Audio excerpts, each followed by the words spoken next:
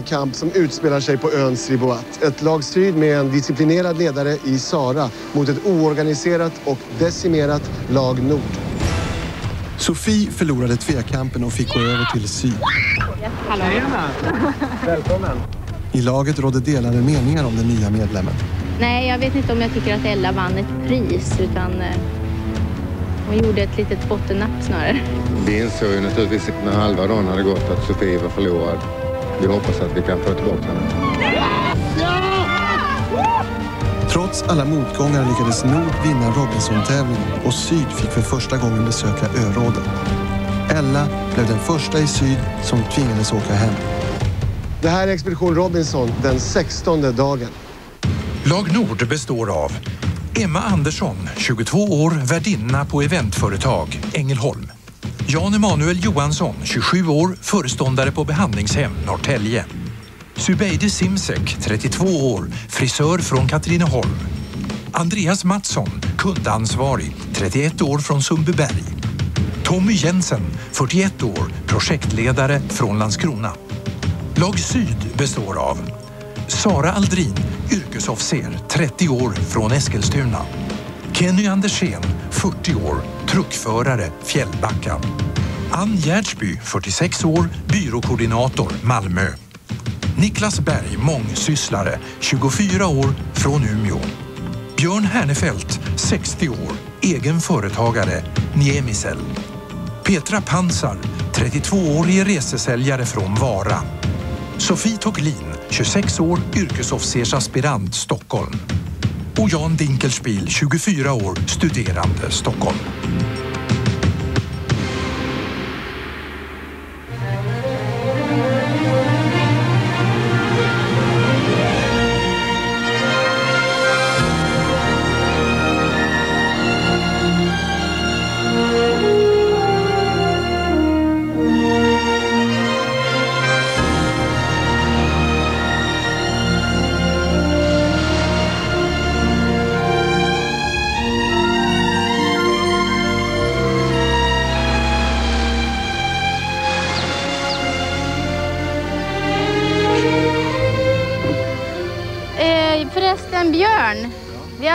Varan som är mycket större än jag.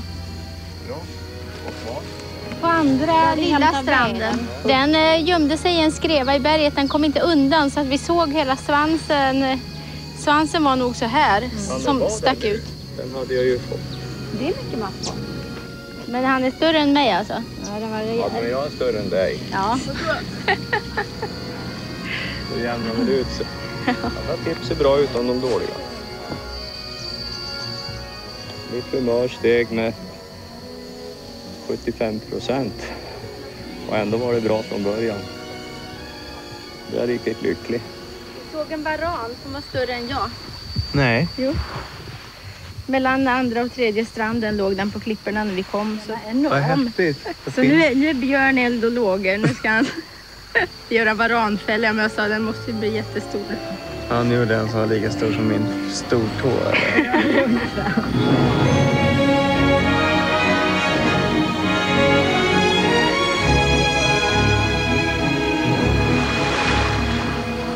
Om den där varanen ligger kvar och solar eller är kvar i den där klippskrevan. Så tar du han med just det. Kamp idag. Jag tror inte så mycket på björnställor. Han är ju rätt duktig jägare har han ju visat. Ja, Frågan är om han ger sig förrän han har fått en varan. det är lite så här. Jag tror inte en prestigegrej för honom. Att få den där jäkla varanen Ja, han skulle vara först i Robinson och få en varan. Så. Det är ju ingenting som jag har gjort förut utan det, jag var fem, sex år. Ja, pappa var hemma från sjön ett tag och jagade så gjorde han fällor av det här slaget men i mindre format. För vilket djur? Ja, det var för eh, hermeliner. Björn han är mycket för fällor. Eh, han bygger fällor till allt som rör sig i princip. Men eh, jag tror inte så mycket på varanfällan. Fast jag unnar honom gärna att försöka. Så den där varanen som jag såg den passar inte för den fällan det kan jag säga. Den var ju lika stor som jag så att då får han göra en stor fälla om man ska ta den. Ska du ha en sten som tyngd på den? Ja, jag får se vad jag hittar där borta. Det är därför jag har med repet här för att kunna... Jag kan knyta fast en, en stock som ligger också från det hållet. Vet du, om den är fast så med tyng, huvudtyngden. Den kan till och med sticka ut mycket mer. Gör ingenting. Huvudsaken är att den klipper ordentligt. Ska man döda ska det göras ordentligt och inte hålla på och fjantas. Vi har så vi klarar oss utan att behöva döda en varan till exempel. Då tycker jag det är onödigt att leka med döden på sånt sätt bara för en liten köttbit så. Och sådana här eh, klappfällor och sånt där med spik och att skulle det inte fungera, den sliter sig, river sönder och det är inte fastsatt så tycker jag det är helt jävla fel. Är det så här blir skadad och ska gå efter det, då eh, blir jag irriterad. Sen får du även binda den fast den. Jag ska spika fast den på tvärslår så den inte går att kantra den. Han kan ju dra iväg. Ja, jag förstår ju det att det... Men den kommer inte att kunna dras iväg någonting när jag har satt fast den. På det sättet. Det är inga problem. Nej, du har ju levat 20 år mer än jag så du vet väl? Ja, sånt här i alla fall. Jo, man har ju 20 års mer erfarenhet än vad jag har. Men allting som han gör eller tänker sig är ju inte alltid rätt. Kommer inte att få isär. Den saken är säker. Björn är otroligt kunnig och han är också väldigt säker på sina saker hela tiden. Och hade man kunnat ifrågasätta det han sa då hade folk gjort det i större utsträckning. För ibland tycker de andra medlemmarna kanske att han säger någonting som inte stämmer. Men i och med att Björn kanske inte har så lätt för att vika sig så, så väljer man istället att bara lägga ner samtalsämnet. För annars har man en 20 minuters diskussion framför sig och det, då orkar man inte med tanke på hur man mår i dagsläget. Generellt inom syd så är det mycket eh, mummel och murvel i kulisserna och saker som inte vädras ut eh, rent ut utan det är mycket liksom eh, gömd irritation som ligger och yttrar sig i små pikar och eh, det tycker jag väldigt illa om. På nordsidan gjorde vi så att vi vädrade ut allt och då blev det ju bra och man fun- funkade bra som ett lag.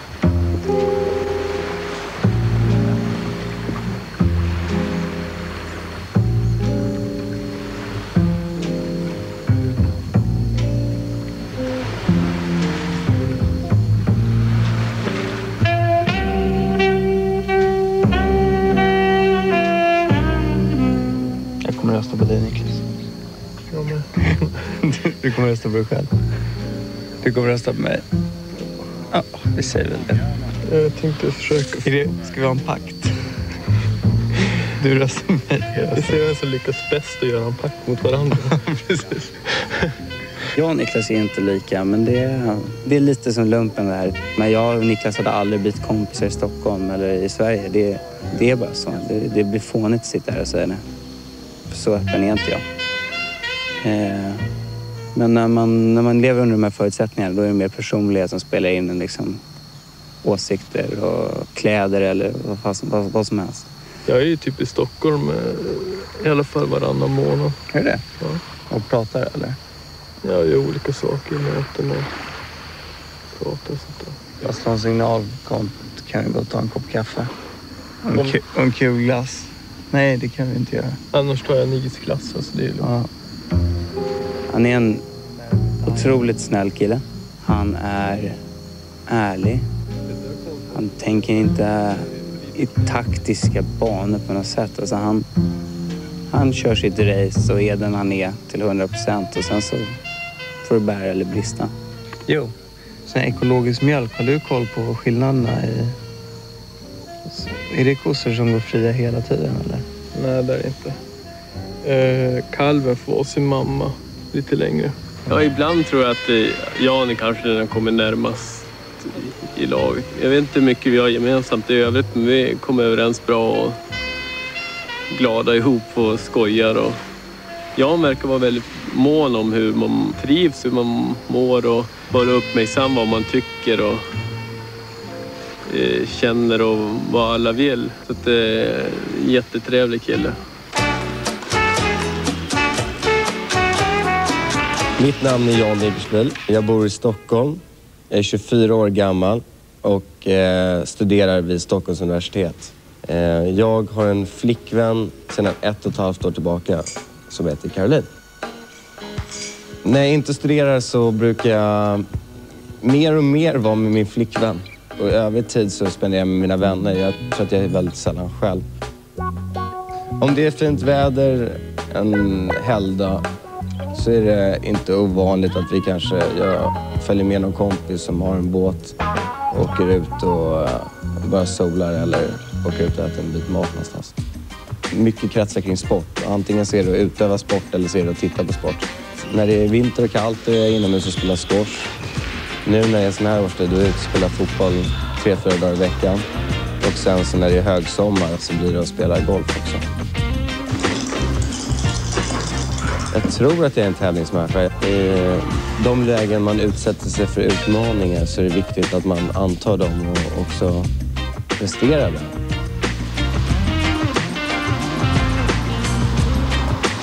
Har du någonsin ätit en Daimglass i hela ditt liv? Va? Har du ätit Daimglass? Den, den är god, det måste du erkänna. Jag minns knappt hur den var. En strut med blåbär, melon, Daim eller choklad. Håll med om att det låter gott.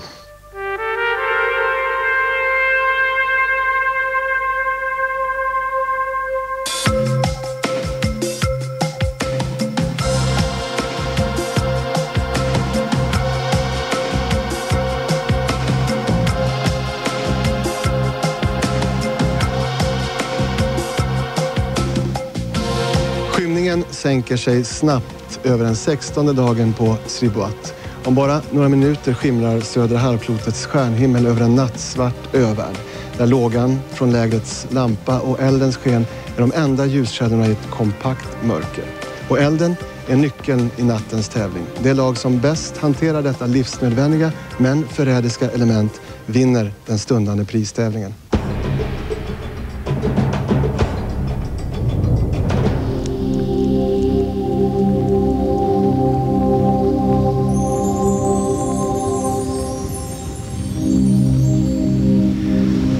I gäller det att hålla elden vid liv och snabbt föra den framåt till nästa person.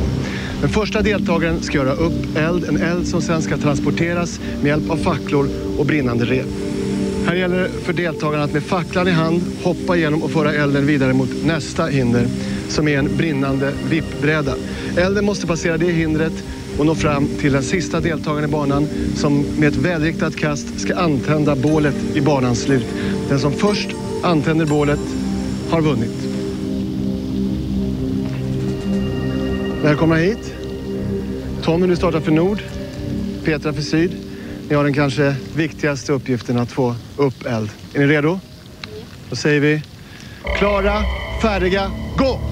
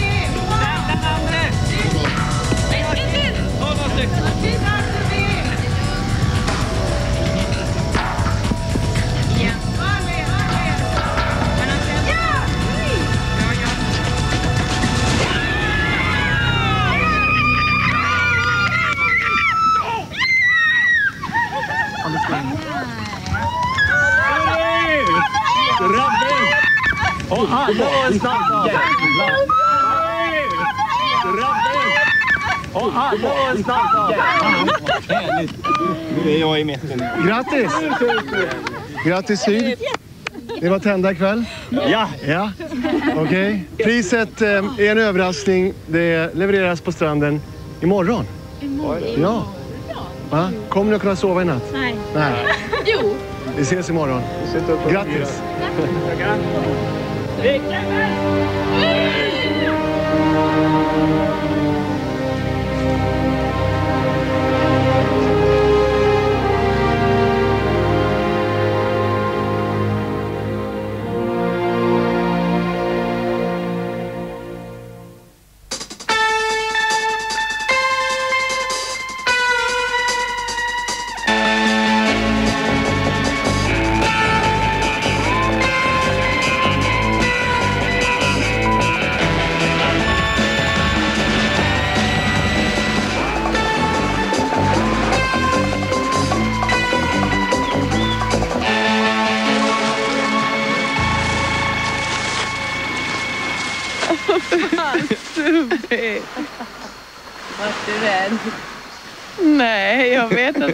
Jag har hört dig. Låter det som en råtta eller? Värre. En gigant. En hel jävla familj med råttor. Råtta gigantus. Så vi sett. Mm. Va?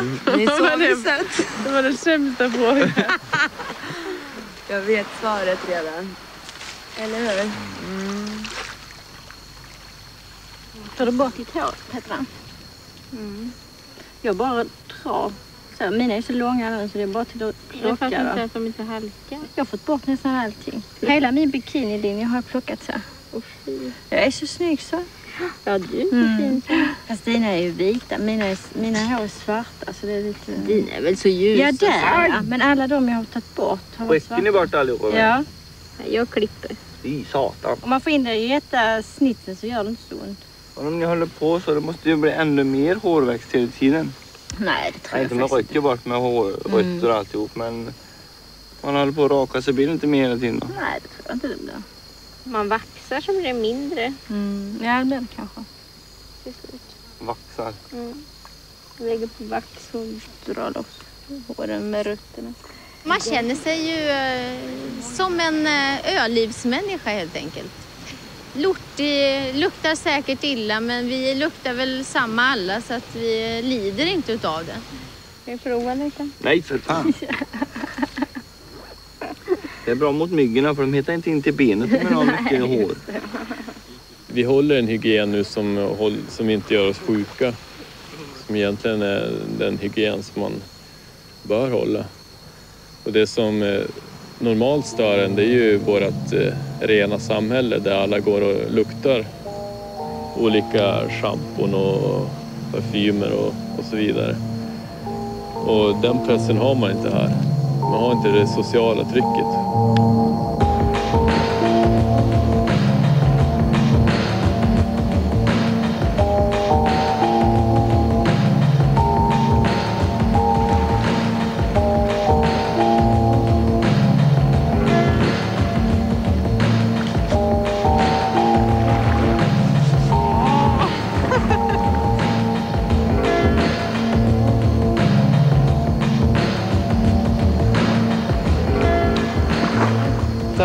Aldrig hänt i livshistorien att man har varit så äcklig egentligen.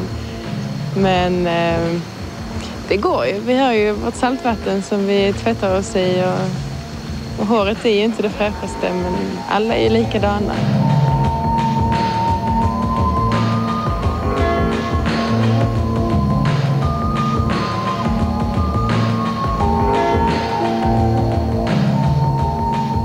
Om det är någon som lider av hygienbiten så finns det väl i så fall kanske tre stycken som eh, jag tror har störst behov av eh, tvål och vatten eh, just mentalt.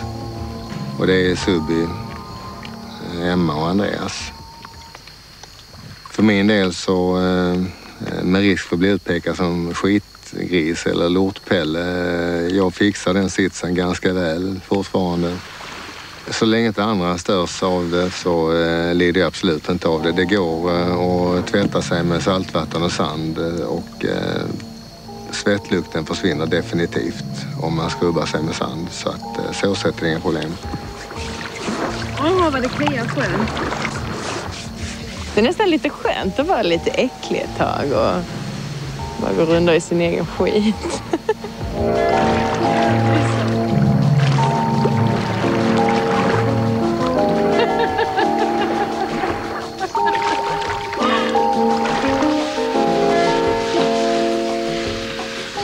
vad gott det ska bli med lite palm, Sara. Palmmärg! Idag steker vi det länge. Ja. Är du lika sugen en som fin jag? idag. Ja, jag tror den är fin idag. Inga mer varaner. Nej, jo, spår bara, men som sagt. Om... Vi får Ja, väl se i eftermiddag, eller resten av dagen.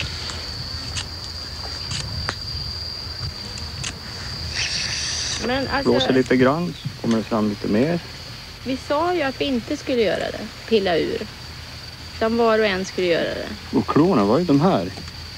Fattar jag det? Ja, du kan ju ta på all, allting. Jaha, men det ligger upplagt sådär. Ja. Okej då, då gör vi så. Ska vi ta bort eh, och ta fram de här Jag tycker att det hörderna är då? lite gnällig stämning faktiskt måste jag säga. Mm. Ska vi ta fram det här? Det är ju Ja, de här det halvorna vi ska gräva ur också. Nej, men jag tycker det är massa små gnäll eh, från vissa håll och sånt. Jag tycker det är jävligt otrevligt och det gör mig på dåligt humör. Ja, men du var rätt Jag tycker gnällig du igår är en av de som kan det? gnälla ut mest. jag- du Över hela situationen. Men jag tycker så här små personliga grejer att alla har med vad alla gör och Ja, men du var nog inte här när vi sa att vi skulle pilla på dem själv. Det var nog därför. Vi hade sagt att vi skulle rensa krabbor själv, men han ville vara så snäll att göra det. Han hade missuppfatt- det var en missuppfattning helt enkelt. Och sen gick vi Sofie in, och, som inte heller riktigt visste vad det handlade om. Så det blev lite fel överhuvudtaget. Jag hörde ju någonting. Jag trodde ni menade att vi skulle ta ur det som är lätt att ta ur och att vi sen skulle sitta med det jag här. Det var väl ingenting personligt till exempel mot dig. Nej, men jag, jag, jag upplever inte att jag gnäller på dig. Jag har inte gnällt jag något kan personligt uppleva på dig, dig. jag kan uppleva dig som lite inte gnällig. Du, du kan ha en tendens att låta gnällig. Ja. Men jag har inte gnällt på dig. Just nu. Just nu, nej. Men jag tycker att du har en tendens att låta gnällig när du Mm. säger till folk. Jag sa att jag tycker nog att det är lite gnälligt här nu. Eh, för att stå där och gnälla som en annan tant liksom när Björn är ute och ägnar timmar åt att fånga de här krabborna.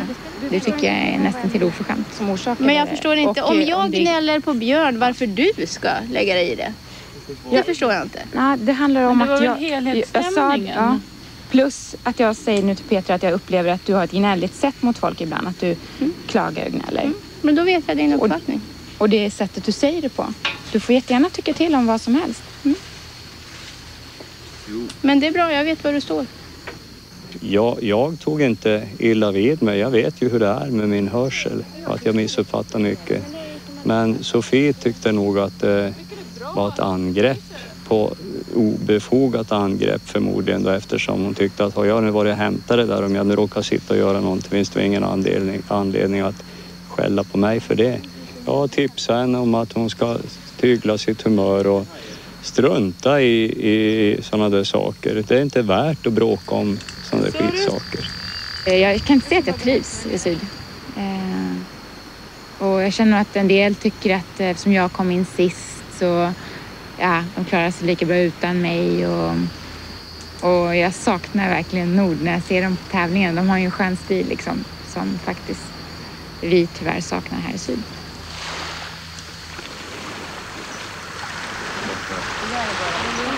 Åh, fy fan vad äckliga de är här.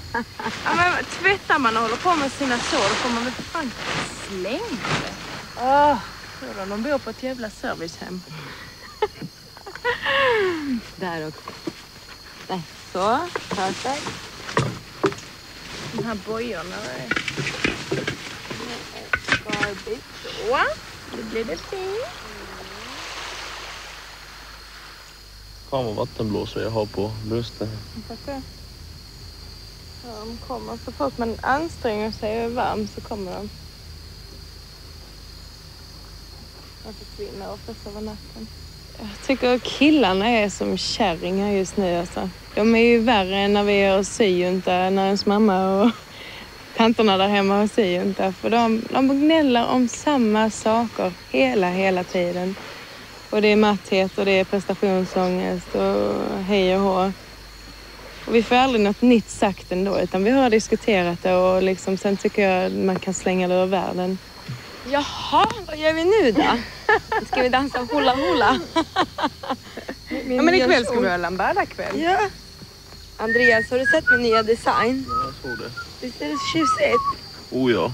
Det är lite Ska jag vara ärlig så tycker jag det ser för jävligt Ja, Jag tycker jag är skitsnygg.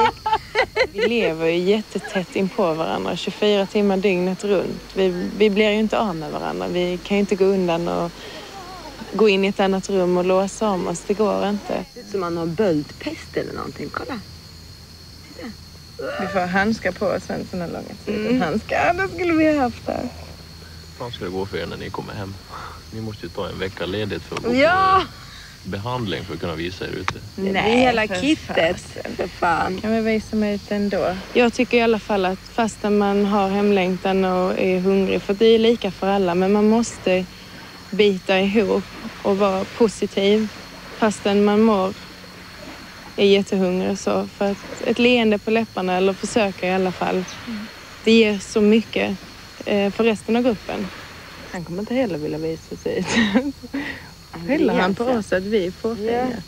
Alltså man får försöka hålla skenet uppe Mm. även om man har hemlängtan och så. Man behöver inte... Man kan inte deppa ihjäl sig. Nej, för det smittar av sig på gruppen och det är jättejobbigt att försöka få, eh, nej, men få dem på bra humör igen. Nej, jag trivs bra. Jag vill vara kvar här så länge som möjligt. Eller ska vi vara? Ja, vi får se vad som händer. Vem skulle du lägga din välsignelse på om du vart utröstad? Jag tycker jag vill köra girl power. Jag heter Emma Andersson, är 22 år gammal och kommer från Ängelholm. Eh, Jobbar som eh, värdinna för ett eventföretag. Utseendet för mig tycker jag är jätteviktigt. Jag har jättestort intresse för allt vad det gäller shopping och mode, inredning och lägger jättemycket pengar på det. Jag tycker om liksom att, att sminka upp mig och, och gå ut. Och... Jag har väl jobbat som eh, modell lite extra så sen jag var 14 år gammal. Jag tycker det är jättekul att göra lite extra ibland. Jag är väldigt flörtig tjej, det är jag faktiskt. Jag, eh, alltid när jag är ute så växer hornen i pannan på mig.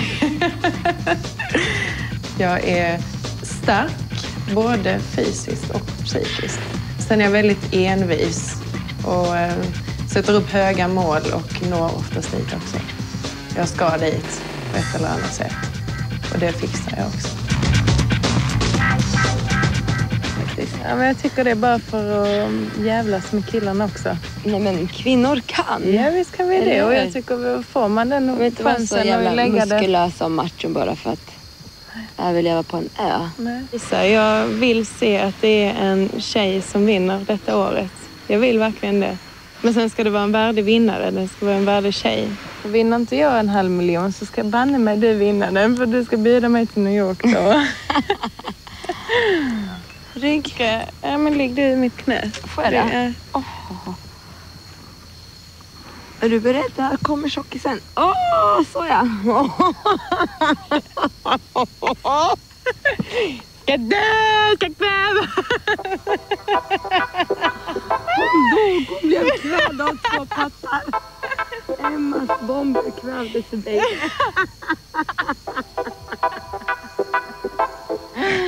Eller hur?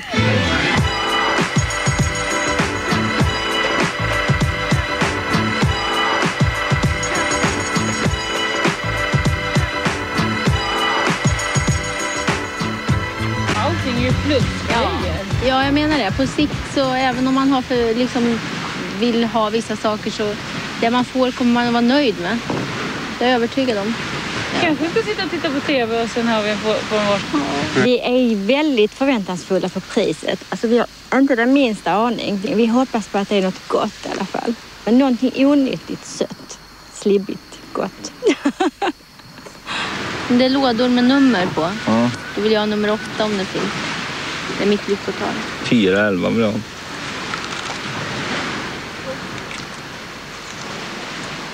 Hej på er! Lag Syd segrar i nattens tävling. Det är ju dags för prisutdelning. Jag kommer hit som Sribats egen kranskulla för att leverera priset. Vad hoppas ni att det ska vara? Cigaretter.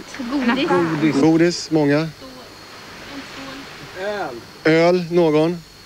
Ingen kommer att bli riktigt besviken och många kommer att bli väldigt glada.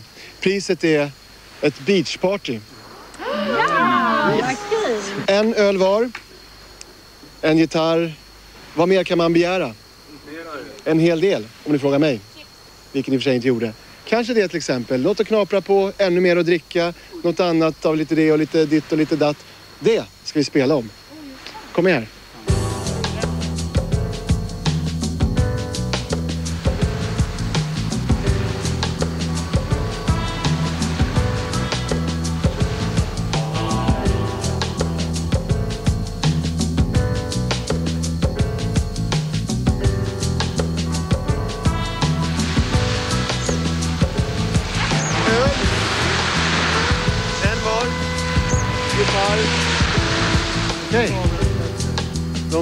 Som då eventuellt fattas eller finns bristfälligt av till ert beachparty spelar vi om. Ah, fattas lite. Lite ömässig stil och, och klass måste vi ha.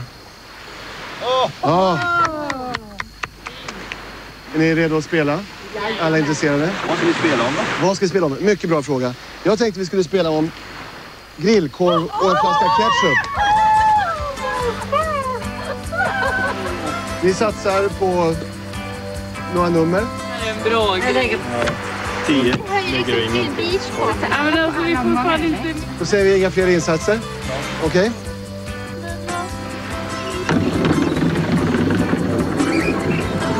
Fyra, sex, tio och tretton. Kulan stannar på ett. Okej, vi går vidare. En påse med smågodis. Sex, åtta, tio, tolv. Oh. Oh! Men vad roligt! Vänta den. Ni får satsa en av era marker på svart eller rött. Vad vill ni spela om? Öl, korv och ketchup vill vi ha. Öl, kolla ketchup.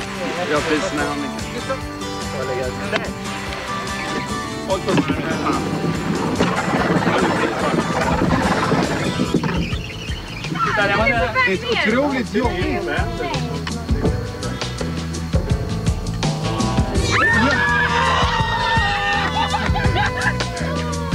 Vilken kul vi har!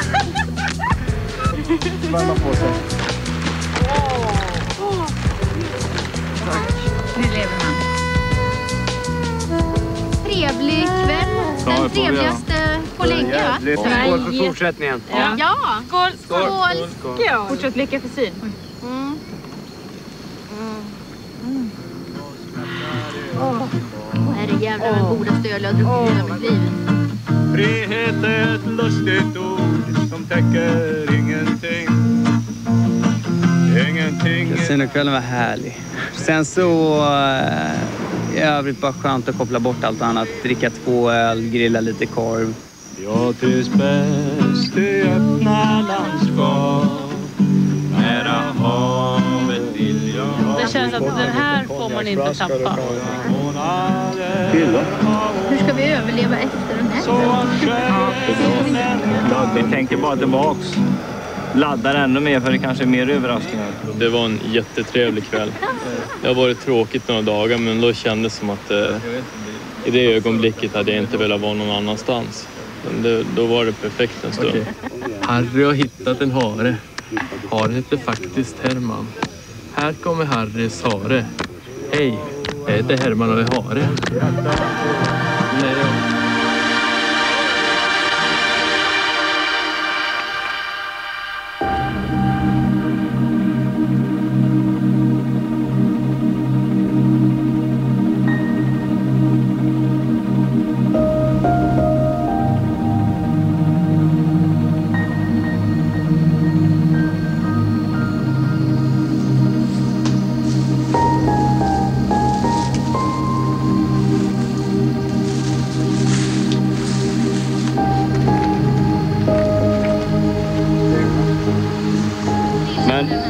får du se.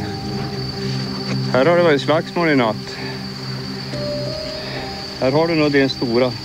Det här är en jädrans bred svans. Titta den här tassen till exempel. Ja, men det stämmer nog med den Den storleken. är jädrans som på en krokodil. Ja, men hur har du tänkt att den ska fastna någonstans då? Ja, jag tänker vara här när jag har fikat och när jag har ätit. Jaha. och se om jag får syn på den som ni har gjort. För då låg den där och i skuggan på klipporna. Ja, jag När det förstår var det. Den var alldeles bredvid där jag fällan nu. Mm. Men eh, fastnar den bara så att den sitter fast i en minut medan jag hinner dit Ja, ja. så får jag den ändå. Ja, jag hoppas Den kan, en sån där stor bryter sig loss i den där lilla fällan med detsamma men med lite tur hinner jag dit om jag är i närheten. Det kan bli kul det här.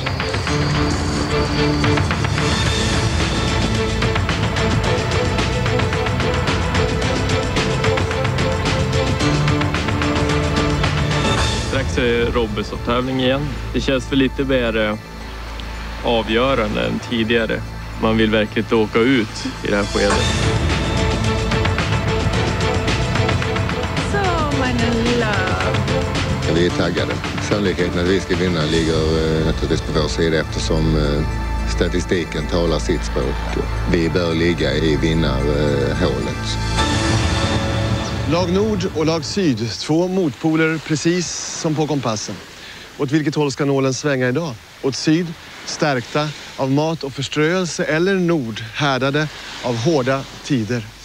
Det är dags för den fjärde Robinson-tävlingen. I farvattnen runt Malaysia var piratens snabbgående jonk ett ständigt gissel. Det gällde att upptäcka hotet i tid och ha en utkik på post högt uppe i masten. Som kanske tog sig till jobbet i en sån här skotstol. Och en skotstol ingår också i det första momentet i dagens Robinson-tävling. Här uppe hänger två säckar. Två deltagare i varje lag ska hissa sig upp och hämta en säck var efter varandra. I säckarna finns ledtrådar som gör att ekvationen där nere kan lösas. Rätt svar i ekvationen talar om för laget i vilken av sandhögarna de ska gräva för att hitta sin flagga. Och det lag som först hittar sin flagga och kan hissa den högst upp i riggen har segrat i dagens Robinson-tävling. God morgon Syd. Välkomna Nord. Nord som har Robinson-statyetten i hand efter segern sist. Ni spräckte nollan. Vad har det gjort med självförtroendet? Den ute på topp? Ja. Okej, men jag tar den där nu. Den var bara till låns. Vi är ändå på topp. Ja, var bra. Får se om ni kan erövra en dag igen. Idag är det en skeppsorienterad tävling kan man säga. Ni vet vad som gäller. Två personer ska göra sig redo att hissa sig upp i båtmansstolen, eller skotstolen som vi säger här. Och det, ni måste jobba ihop i laget, alla tillsammans, på varje moment. Ni får till exempel inte börja gräva i olika högar utan ni bestämmer er för en hög, gräver i den tills ni kommer på en bättre idé eller hittar flaggan. Okej? Yep. Då gör vi oss redo. Två man till båtsmansstolarna.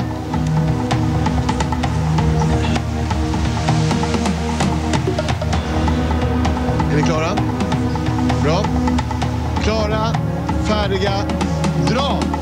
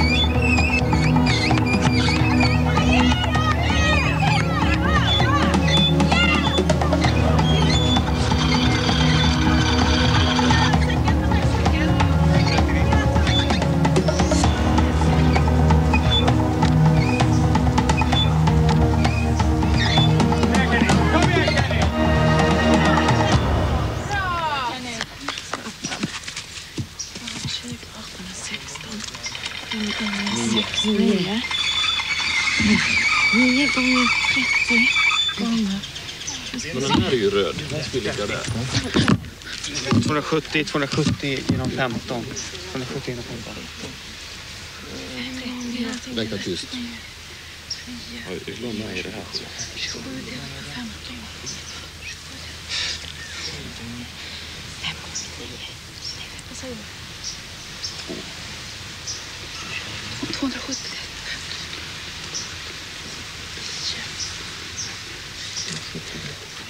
Sen vad vi ska göra. Nej, men, nej, men vänta.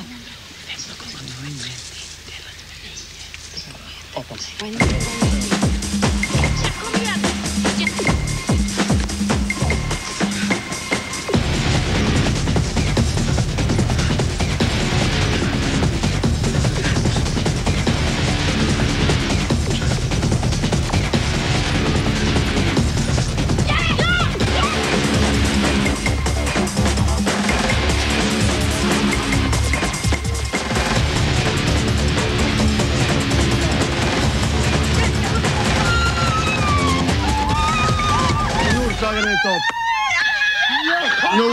i topp. Och vi har en segrare. Buhu! Och så var den bara sju! Den här är, tar du den? Grattis. Otroligt bra kämpat. Jobbat! Lag Syd. Vi ses i rådet. Ja. Okej. Pulsen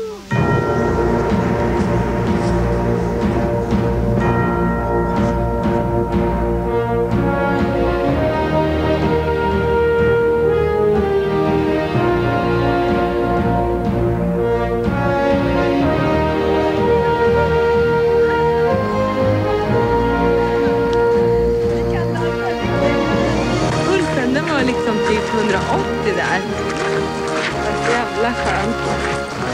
Har lite snabbkäk nu så går vi ut och fixar en eh, ny pall. Det som känns bäst är att det är två verkligt duktiga killar på matten. Ja, att de inte fixar det ja. Ja, Jag såg De inte hur de, Lund de hade allting. kommit. De, eh, precis efter du sa 18 så sa de eh, 18 också. Men då satt vi redan med nävarna i grusen. Fotomodell och geni. Perfekt. Det var snällt sagt. Åh, den tävlingen som var var så himla rolig. Jag tyckte det...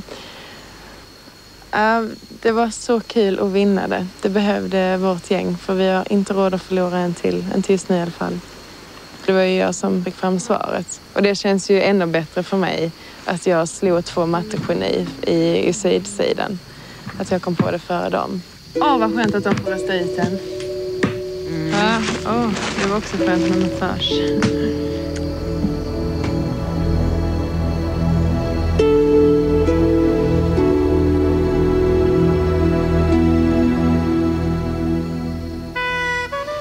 Jag mådde riktigt dåligt efter det här nu. Alltså, känns som att man har förnedrat sig själv nästan, det här med mattegrejen.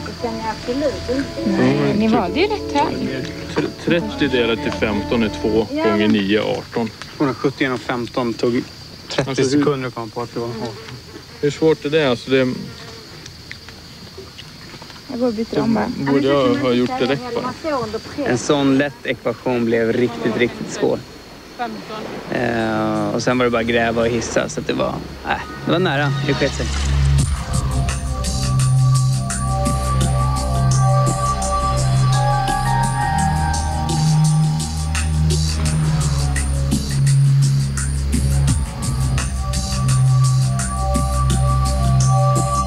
Jag har tänkt en del på dagens öråd faktiskt.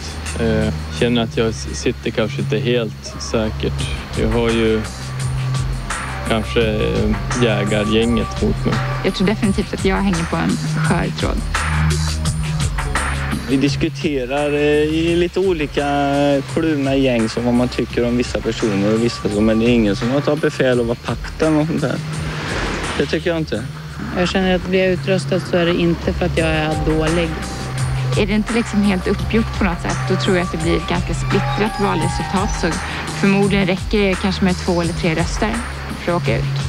Jag kommer att följa mitt hjärta och rösta som förra gången på Björn.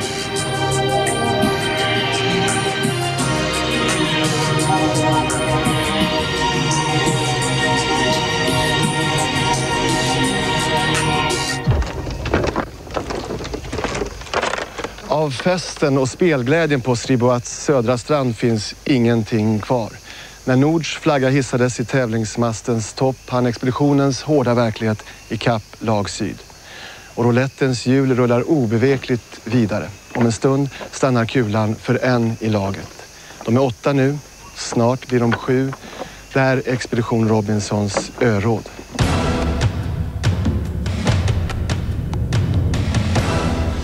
Välkomna hit, lag Syd.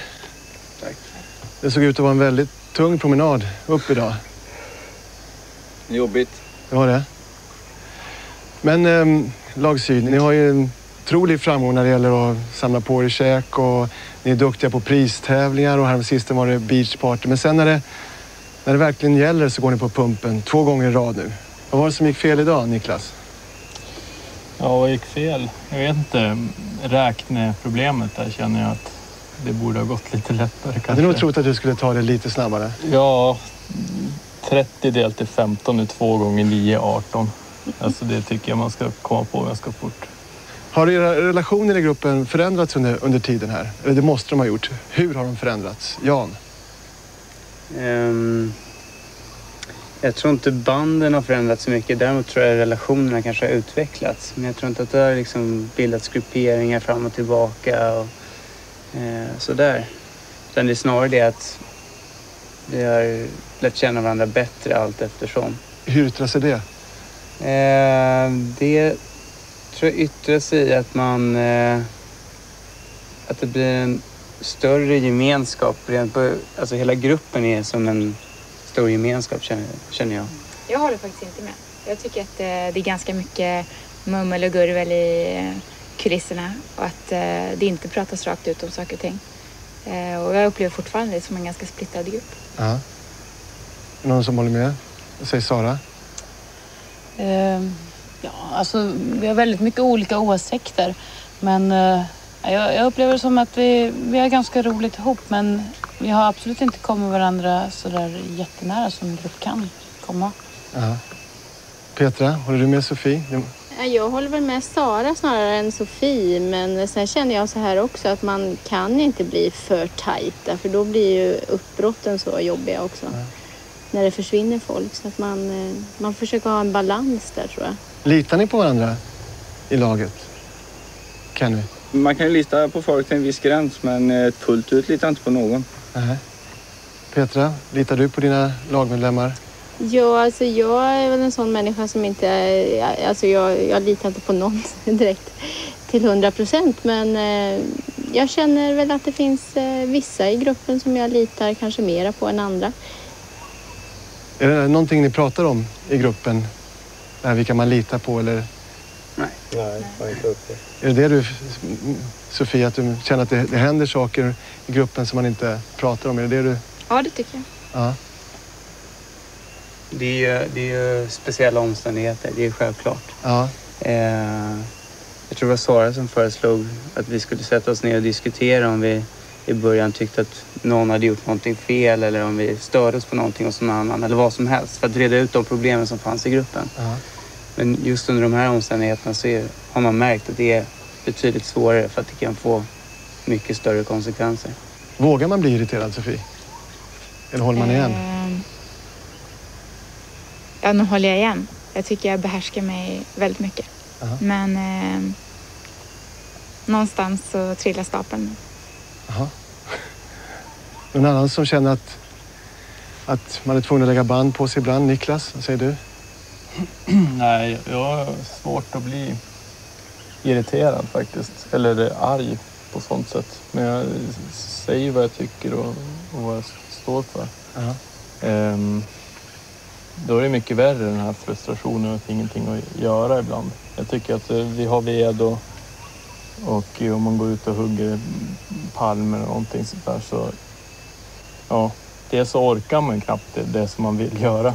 Nej. Och dels så, ja, när, det, när det är gjort så, så finns det inte så mycket att göra.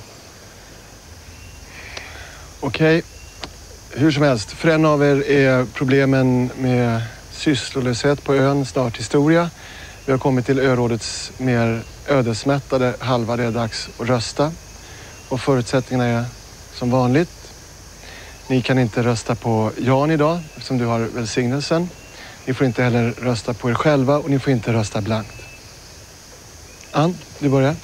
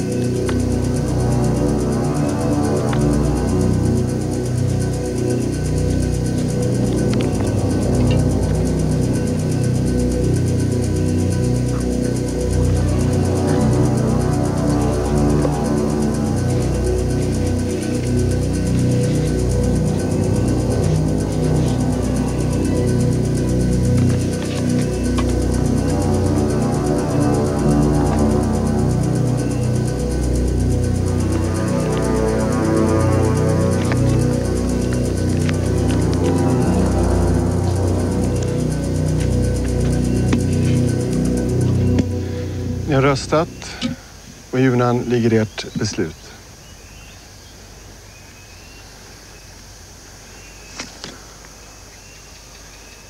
På den första rösten läser jag Sofie.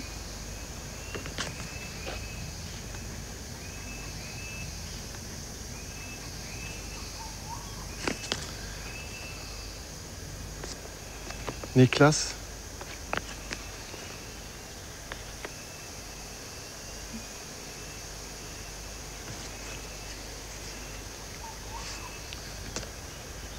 Björn?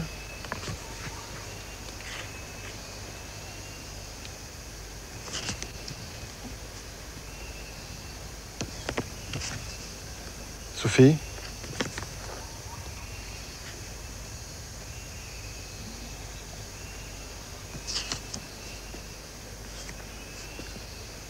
Niklas?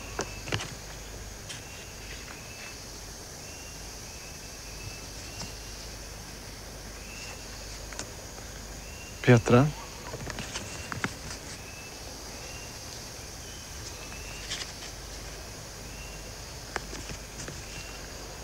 Sara.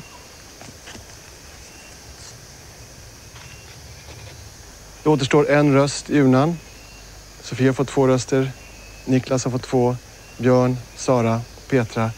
Vardera en. Skulle stå Niklas namn eller Sofies på den sista rösten så är det ni som får lämna ön tillsammans med mig.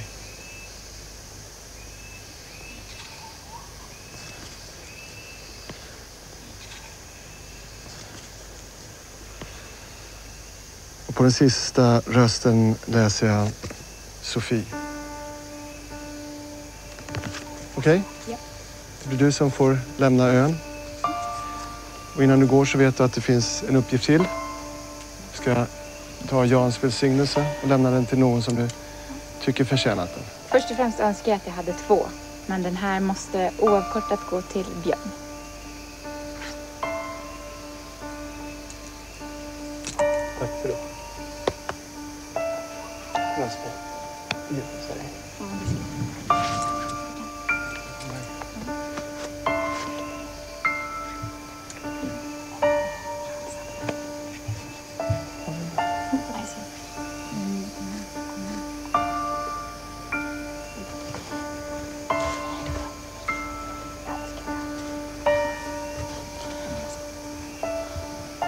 Trodde att det skulle bli ett, eh, ett spritt valresultat men att det skulle säkert räcka med en två, tre röster för att åka ut och det var ju precis så det också blev. De som har den inställningen att det ska inte vara de väljer inte en värdig Robinson-vinnare utan de kör något rävspel och sätter andra grejer som någon sorts kamratskap framför. Det tycker jag är märkligt och naivt och patetiskt.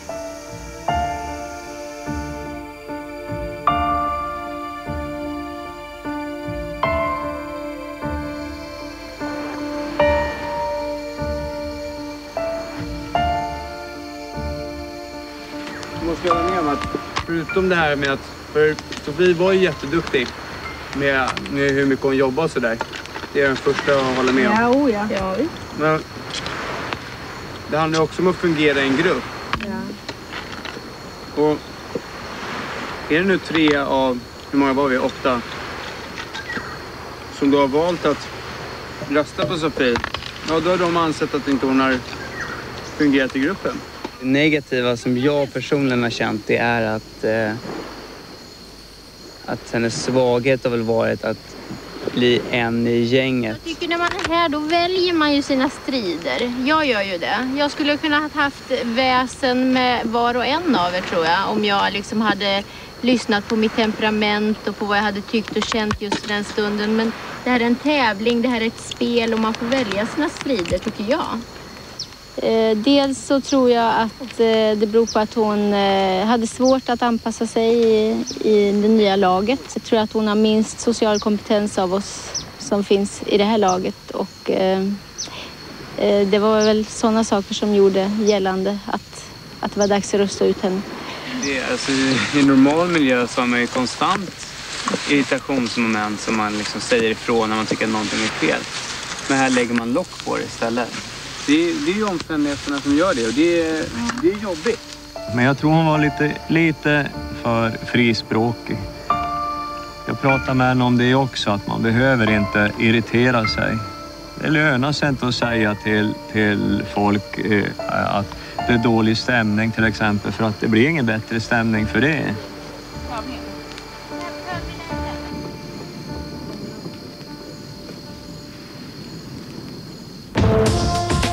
Nästa veckas Expedition Robinson. Björns jaktlycka håller i sig, men trots det är tillvaron i syd inte fri från problem. Det luktar surströmming om det. Där äter den. Då tycker jag att han ibland kan sakna en förmåga att lyssna på andra människor. Och vad är det som väcker så starka känslor i nord? Vem vinner och vem försvinner? Missa inte nästa veckas Expedition Robinson. Direkt efter programmet kan du chatta och se en intervju med Sofie på SVTs hemsida. Adressen är www.svt.se.